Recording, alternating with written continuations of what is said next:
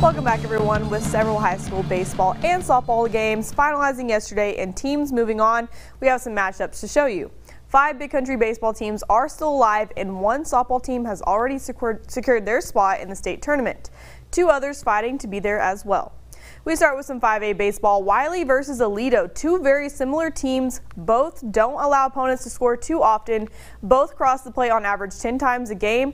Game one is Thursday at 6 p.m. at Weatherford College, two Friday at ACU, and three is 30 minutes after game two if needed.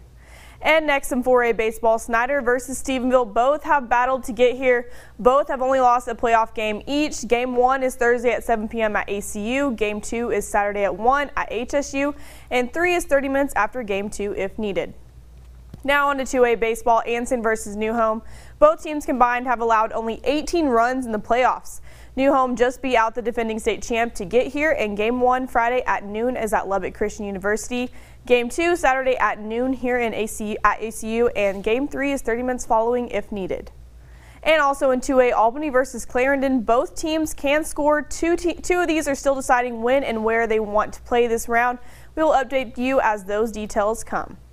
And lastly, in 1A baseball, the battle to state. However, this one is special for these two teams' head coaches.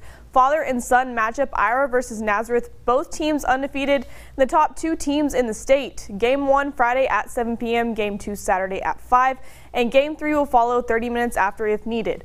All games will be played at Lubbock Cooper. And next up, some 2A softball. The round to secure a spot in the state tournament. A top 10 matchup being played right here in Abilene. Stamford versus Hamlin. Lady Bulldogs defending state champs. Hamlin coming off a big series sweep. It is a one-game playoff, and it is Wednesday at 7:30 at ACU. And lastly, one big country softball team has earned their spot in a trip to Austin, the Hermleigh Lady Cardinals. The field is set, and here are the four 1A teams in the tournament.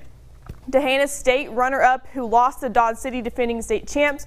And both those two ranked opponents are Chireno and your Hermleigh Lady Cardinals. Semifinals will be Tuesday, May 31st at 10 a.m. and 1 p.m. and winners move on to play Wednesday at 4 p.m.